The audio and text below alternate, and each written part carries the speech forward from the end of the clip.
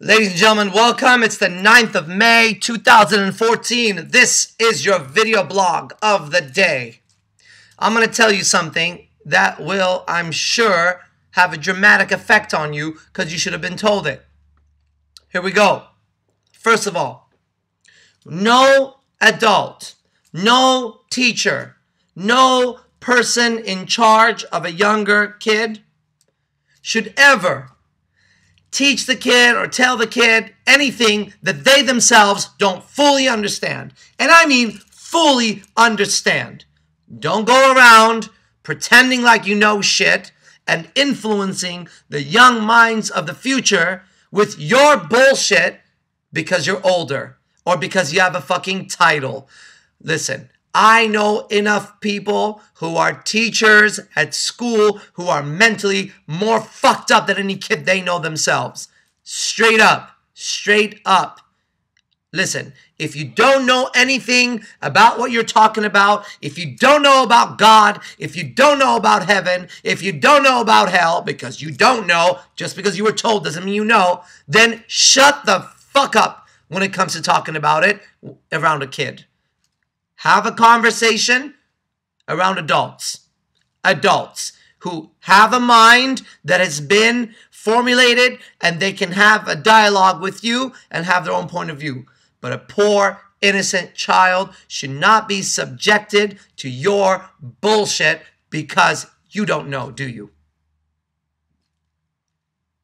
Now, we as a generation are suffering for that also because we were told shit as if it was real. I'll give you an example. We were told that Christopher Columbus discovered America and they had this great feast, and we should be very thankful on Thanksgiving for the great whatever the fuck bullshit was. You remember? Well, guess what? That's a fucking lie, and it should not be pushed as the truth by adults. And then we come to the problem of, well, what if you're a school teacher and you have to teach that? Then you have an ethical obligation to not teach that or not be a goddamn teacher or teach somewhere that doesn't teach that, okay? You figure it out. Which brings me to this point. What I don't understand a lot of times is how people, regular people, you and I, just like you and I, they have a job as a police officer or as an army or something, right? And they go out and they hurt innocent people and they step on their rights and they're like and they they say well i'm doing my job. Or maybe they're a social worker and they're like well i have to take the kid away from you. I don't really want to but i have to. You don't have to. You don't actually have to. You actually can do something else. Or Animal control is another one that I've seen. Now, of course, I'm making a general statement, and there's exceptions to the rule. There's there's incredible police officers, there's incredible teachers, there's incredible people helping all the time. Okay, and that's I'm not talking about them. I'm talking about the majority rule, right? They animal control, or uh, where they come and take your animal away from you. Or another one is I was watching this Cesar Millan show, and the lady was like, she was the one that would choose which dogs to be put to sleep in the in the um, SPCA or whatever the fuck they were doing.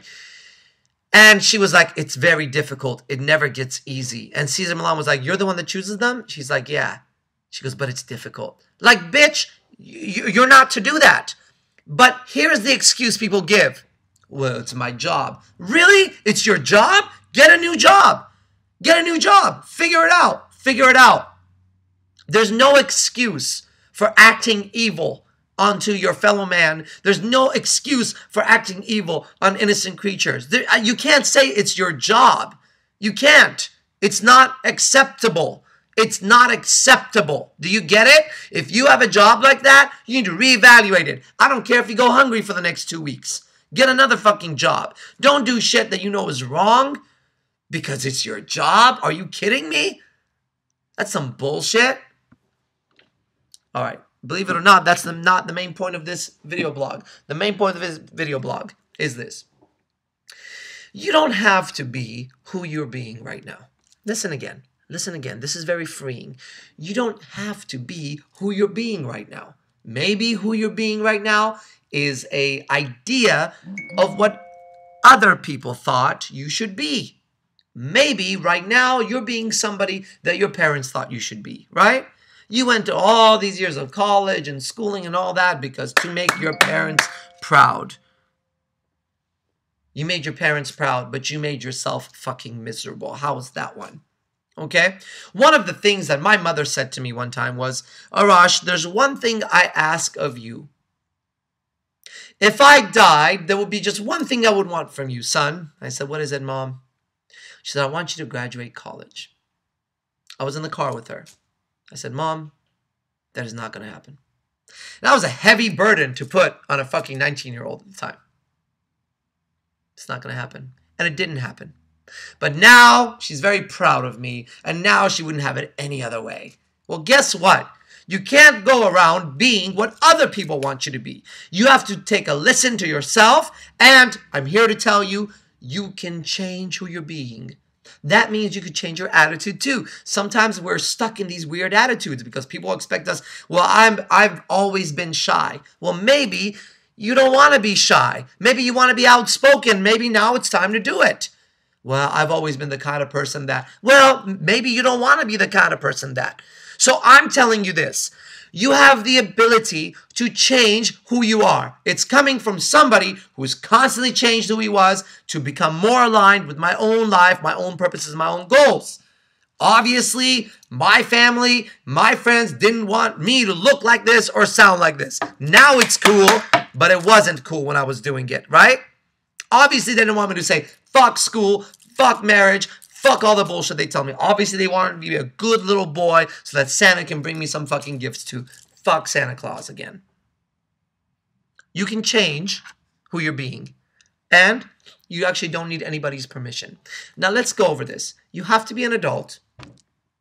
And two, you can't go around hurting other people. That's that's not a permission granted. You have to do things that are survival. Okay? You know if you're listening to me, this is part of it.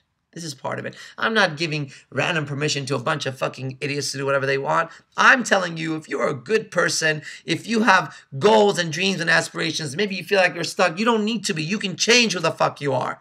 And it starts with a decision. Then it takes a little bit of courage, but god damn it, it's worth it. Because before you know it, this life is going to be over and you're going to look back and you're either going to have done what you need to do or not. And if anybody's trying to sell you this bullshit, which is like, there's a purpose to life that what's the purpose to life motherfucker why don't you tell me why don't you tell me you enlightened one since you know tell me what i'm supposed to be doing and when you recognize that there really isn't one then you're free to make up your own meaning for it there is no fucking meaning to life. Don't fall for that bullshit. That's part of the reason you're suffering. It's part of the reason why good people are suffering.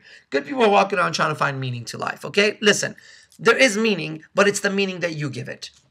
Get that again. You are the sole authority in your life. When you want to know who's the, who's running your life, or you want to know who is the authority, go look in the mirror. Now, you may not be exercising your authority, so other people are exercising it on you. But the moment you exercise your own right to your own life, then you are in charge. Do you understand that? Now, this doesn't mean it's going to be easy, but I'm willing to bet you don't have a very easy life right now, do you? I'm willing to bet there's still suffering in your life. So if you're going to suffer, you might as well suffer for some real shit that means something to you. None of us on this planet are walking around with rainbows and sunshines and shit. If people are saying that, they're lying. Okay?